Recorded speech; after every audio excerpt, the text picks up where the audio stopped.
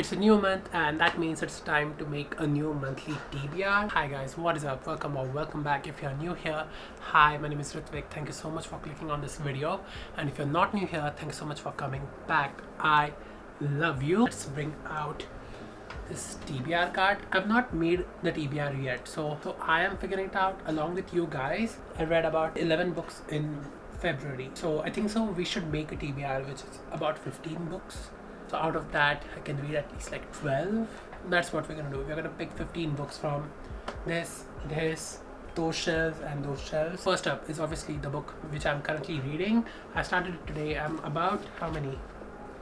I'm about 50 pages in, which is How to Kill Your Family by Bella Mackie. I've been meaning to read this book since 2022 and I finally have started this 50 pages in. I'm loving it a lot so far. I just hope that this book builds up from where it is right now and does not disappoint me in the second half. So yeah.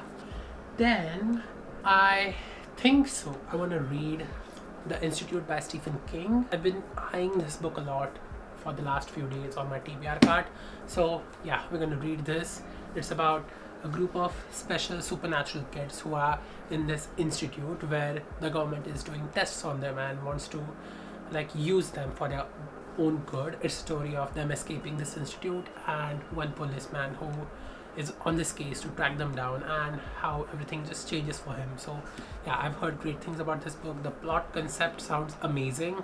I'm not really excited about the writing because the last three Stephen King books which I've read, the writing was not my favorite, but I love the plot of it. So yeah, I'm excited to see how this book fares for me. People have been hounding me to read As Good as Dead by Holly Jackson, so I am going to read it. You're gonna get like a proper detailed vlog for this book. I've not done like a solo book vlog in a while, so you guys, you guys are gonna get fed with this one.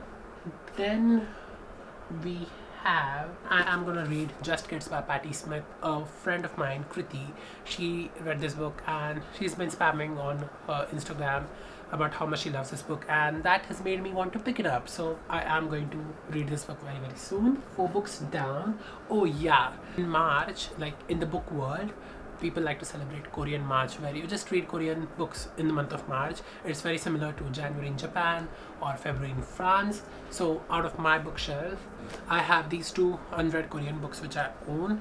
So I think so I'm going to read The Vegetarian because it's short and why not? Five books now. Book. I think so. I might be able to do a 24 hour readathon this month. I'm counting like four books for that and I kind of want to do like a mystery marathon 24 hour readathon so I'm gonna pick four mystery books I'm not picking the mystery books because they are just so fucking tightly stacked inside one another. Bright Young Women by Jessica Knoll. I've heard great things about this book and everybody is just so in love with this book. Finally picking up The Maid by Nita Prose. I've been eyeing it for a while and it's like the perfect time to pick it up. Oh, then I'm gonna finally read The American Boyfriend by Ivy Nya. I've been meaning to read this book for months and I'm gonna start off the Mystery Marathon 24 hour readathon with that book. We need one more mystery book. Which should I read?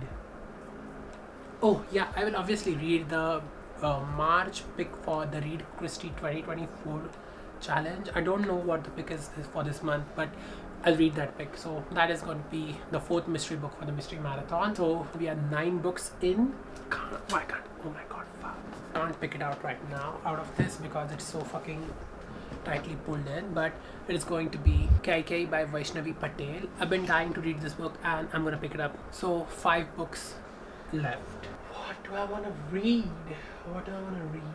Oh yeah, the story life of AJ Fikry by Gabrielle Zevin.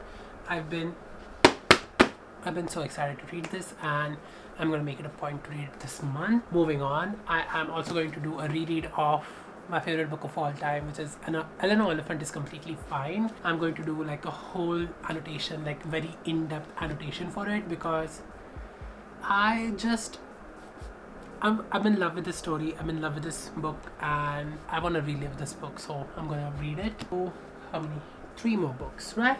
I'm going to read Draupadi by Koral Dasgupta.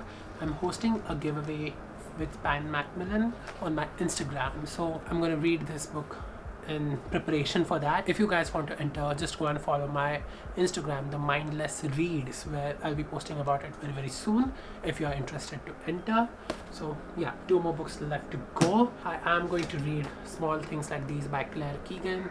I've been just meaning to get to it, and recently I've been like very like on fire when it comes to finishing books from the TBR cart. So yeah. And the last book which I want to read in month of March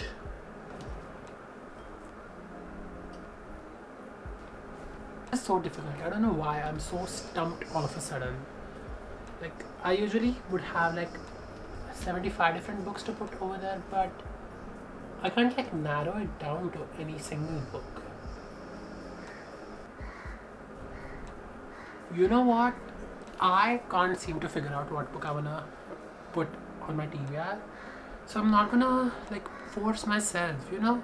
Like I did a lot of mood reading in February and that's the reason why I could get to 11 books and even the TBR which I picked out, even like all of these books, they are still just like a rough guide for me to go by. Like if I don't want to read any of these, I'm not going to.